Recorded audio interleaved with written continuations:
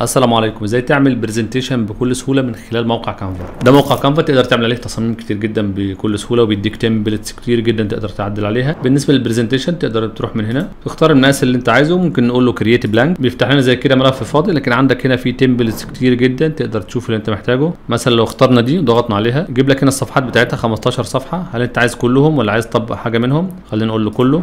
كده اتطبقت الصفحات معاك في ال presentation تقدر بقى تحدد براحتك ال text مثلا وتعدل تسحب كده وتنسق براحتك. تقدر من هنا برضو لو حابب تغير الصور تروح على upload ترفع أي صور عندك من الجهاز لو حابب وتسحبها كده وتفلتها مكان الصور اللي هو حاططها لك. لو عايز تغير animation بتاع أي عنصر بتقف عليه وتروح على animate تقدر من هنا تختار ال animation بتاع العنصر بتاعك. لو عايز تغير الألوان كلها لهوية معينة أنت شغال بيها ترجع على design وتختار style وتحدد الألوان بتاعتك. ممكن تدوس click كده واحدة أو تجرب تبدل في الألوان بيجيب لك هنا يطبق لك الألوان على ال slide كلها. حابب تطبق ألوانك على كل الشرايح. بتقول apply to all page تقدر من هنا تعمل present ممكن نقول مثلا full screen بعد كده نقول له present بيبدأ يستعرض معاك كده بتدوس بالسهم أو الماوس وبيستعرض لك الشرايح ورا بعضها. لو عايز تحفظه بصيغة PowerPoint أو PDF بتدوس هنا على share بعد كده بتختار download تختار PDF تبدا تختار PowerPoint بعد كده تقول له download وهنا بيحمل معاك. لو حابب تتعلم التصميم على كانفا إحنا عاملين كورس كامل للتصميم على كانفا من الصفر. لا رابط الكورس في اول تعليق.